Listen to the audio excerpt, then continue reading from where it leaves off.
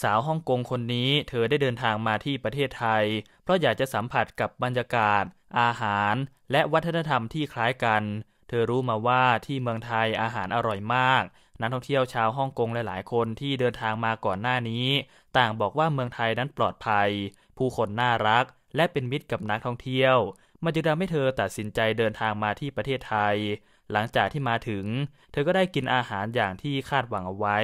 แต่แล้วสิ่งที่ไม่คาดคิดก็เกิดขึ้น เธอได้เจอกับเรื่องราวต่างๆ มากมาย ที่ไม่เคยพบเจอมาก่อน เธอบอกว่ามันบ้ามากๆ ไม่คิดว่าเมืองไทยจะมีแบบนี้ ซึ่งสาวสวยชาวฮ่องกงคนนี้ เธอจะเจอกับอะไรบ้าง และเธอจะพูดถึงเมืองไทยว่ายังไง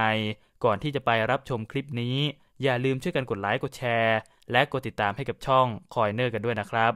เปิดคลิปมาสาวฮ่องกงคนนี้ เธอก็อยู่ที่กรุงเทพ เมืองหลวงของประเทศไทย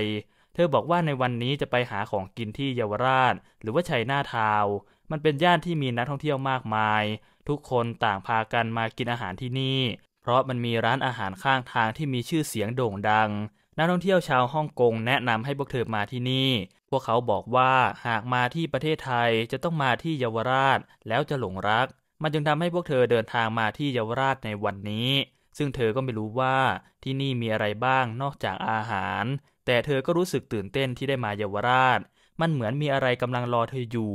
ในวันนี้เธอจะลองกินอาหารที่นี่ดูว่ามันจะมีรสชาติอร่อยมากแค่ไหน จากนั้นเธอก็ได้บอกว่าที่ประเทศไทยมีการเดินทางที่สะดวกสบายมาก เธอเรียกแท็กซี่ผ่านแอปพลิเคชัน พวกเขาคิดค่าบริการไม่แพง เธอลองเปรียบเทียบและลองถามราคาแท็กซี่ก่อนหน้านี้ พวกเขาบอกว่าหากจะมาที่เยาวราชคิดค่าบริการ 200 บาท แต่คนขับรถแท็กซี่ในแอปพลิเคชันนี้ เธอบอกว่าพวกเขาให้เธอเสียค่าบริการเพียงแค่ 97 บาทเท่านั้น มันเจ๋งมากๆ ในระหว่างทางเธอก็บอกว่า ที่เมืองไทยนั้นรถติดมากๆ ข้างนอกมีอากาศที่ค่อนข้างร้อน มันเป็นเมืองที่ทันสมัย มีผู้คนมากมาย และบ้านเรือนแออัด เมื่อมาถึงที่เยาวราชเธอก็บอกว่า ที่นี่มีป้ายสวยๆเต็มไปหมด มันน่าเหลือเชื่อมากๆ เธอนึกว่าอยู่ที่ประเทศจีน สมแล้วที่เรียกว่าชัยนาทาว เธอรู้มาว่าที่แห่งนี้มันเป็นที่อยู่ของคนจีนอพยพในสมัยก่อน มันจึงทำให้ร้านค้าและร้านอาหารที่นี่ ส่วนใหญ่แล้วจะเป็นคนจีน และอีกอย่างหนึ่งที่เธอสังเกตเห็น ซึ่งมันก็น่าสนใจมากๆ นั่นก็คือรถตุกๆ มันเป็นเอกลักษณ์ของเมืองไทยเลยก็ว่าได้ เมื่อพูดถึงประเทศไทย นักท่องเที่ยวส่วนใหญ่ก็จะนึกถึงอาหารที่อร่อย และรถตุกๆ เท่านั้น เธอบอกว่าอยากจะลองนั่งรถตุกๆ มากๆ แต่ในตอนนี้เธอต้องไปกินอาหารก่อน แล้วค่อยจะมานั่งทีหลัง จากนั้นเธอก็เดินดูของกินต่อไปเรื่อยๆ ที่เยาวราช เธอเห็นร้านขายของขายอาหารทะเล และขายผลไม้มากมาย ที่นี่มีทุเรียนด้วย แต่ที่น่าสนใจไปกว่านั้น ก็คือร้านทอง มันมีผู้คนมากมายอยู่ในร้าน พวกเขามาทำอะไรกันที่นี่ คนไทยคงจะชอบทองกันมากๆ เมื่อพูดจบแล้ว เธอก็ได้เดินต่อไปเรื่อยๆ แล้วมาเจอกับร้านขายผลไม้ เธอบอกว่าที่นี่เนี่ยมันมีผลไม้มากมายจริงๆ และดูน่าจะอร่อยมาก มันเป็นผลไม้ที่สดใหม่ ในราคาไม่แพง จากนั้นเธอก็เดินมาถึงที่ร้านขายก๋วยเตี๋ยว เธอบอกว่าอยากจะลองกินก๋วยจั๊บที่นี่ มันดูน่าอร่อย เธอจึงได้แวะเข้ามาที่ร้านนี้ และทักทายกับพ่อค้าเป็นภาษาจีน ซึ่งพ่อค้าก็ทักทายเธอกลับมาอย่างน่ารัก และก็เป็นกันเองมากๆ เขาสามารถที่จะสื่อสารภาษาจีนกับเธอได้ เธอจึงคิดว่าเขาน่าจะเป็นคนจีน ในระหว่างนี้เธอก็ได้หาข้อมูลร้านในอินเทอร์เน็ต และพบว่าร้านนี้เปิดบริการมาแล้วมากกว่า 50 ปีที่ชัยนาทาว มันเป็นร้านเก่าแก่ที่อยู่มานาน เธอคิดว่ามันต้องอร่อยมากแน่ๆ จึงได้สั่งหมูกรอบและก๋วยจั๊บ จากนั้นก็ได้เข้าไปนั่งรอในร้าน ในระหว่างนี้เธอก็บอกว่า อาหารที่ร้านนี้มีราคาที่ถูกมากๆ มันมีราคาแค่ 12 หยวน หลังจากนั้นพ่อค้าก็เอาอาหารมาเสิร์ฟ เธอบอกว่าดูนี่สิ ซุปถ้วยนี้มันน่าอร่อยมากๆ มันคือตรงปานที่บ้านเธอเรียกแบบนี้ แต่เธอไม่รู้ว่าคนไทยเรียกมันว่าอะไร ในระหว่างนี้เธอก็รีวิวอาหาร และบอกว่ามันมีตับหมู หมูย่าง หมูสามชั้น และไข่ไก่อยู่ในถ้วยนี้ เมื่อลองกินเธอก็บอกว่ารสชาติเข้มข้น อร่อยใช้ได้ รสชาติเหมือนกับอยู่ที่ประเทศจีนไม่มีผิด เธอไม่คิดว่าจะได้มากินอาหารบ้านเกิดของเธอที่ประเทศไทย เมื่อกินตรงปานหรือว่าก๋วยจั๊บเสร็จแล้ว เมนูต่อไปก็คือหมูกรอบ เธอบอกว่าสำหรับหมูสามชั้น พวกเขาทำออกมาได้กรอบมากๆ แต่ในส่วนเนื้อมันนุ่ม เมื่อกินกับน้ำจิ้ม มันเข้ากันและอร่อยดี มันเป็นรสชาติบ้านเกิดของเธอเลย เธอชอบมากๆ ให้สิบคะแนนกับอาหารในร้านนี้ เธอได้แนะนำและบอกกับคนดูของเธอว่า ต้องลองมากินที่ร้านนี้ แล้วคุณจะรู้ว่ามันอร่อยแค่ไหน ร้านนี้ไม่ได้ใหญ่โตมาก เป็นห้องโถงเล็กๆมีประมาณสี่ที่นั่ง ถ้าเกิดพวกคุณมาแล้วอยากจะนั่งกินที่ร้าน ก็ต้องรอหน่อย เพราะพื้นที่มันไม่พอ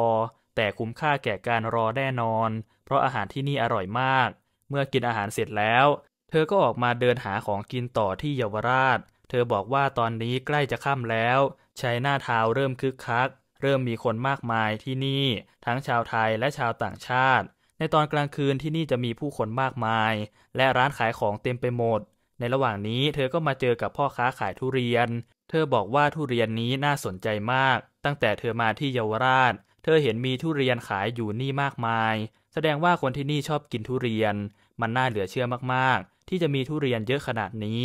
เมื่อพูดจบแล้ว เธอก็ได้เดินดูบรรยากาศต่อไปเรื่อยๆ และบอกว่ายังมีอีกร้านหนึ่งที่ชาวฮ่องกงแนะนำและบอกว่าอาหารอร่อยมาก เธอจึงจะไปที่นั่น เพื่อลองชิมดูว่าอาหารจะอร่อยแค่ไหน ในระหว่างนี้เธอก็ได้เดินมาเจอกับร้านขายทุเรียนอีกแล้ว เธอจึงได้ลองแวะดูเพื่อที่จะถามว่าราคาเท่าไหร่ จากนั้นก็จะซื้อเพื่อลองกิน เมื่อเดินมาถึงเธอก็ถามกับพ่อค้า เธอก็ได้เจอกับปัญหาอย่างหนึ่ง เพราะว่าพ่อค้านั้นไม่สามารถฟังเธอรู้เรื่อง และเธอก็ฟังภาษาไทยไม่ออก มันจึงทำให้เธอกับพ่อค้าตกลงกันไม่ได้ และไม่ได้ซื้อทุเรียนในที่สุด เมื่อเดินออกจากร้าน เธอก็บอกว่า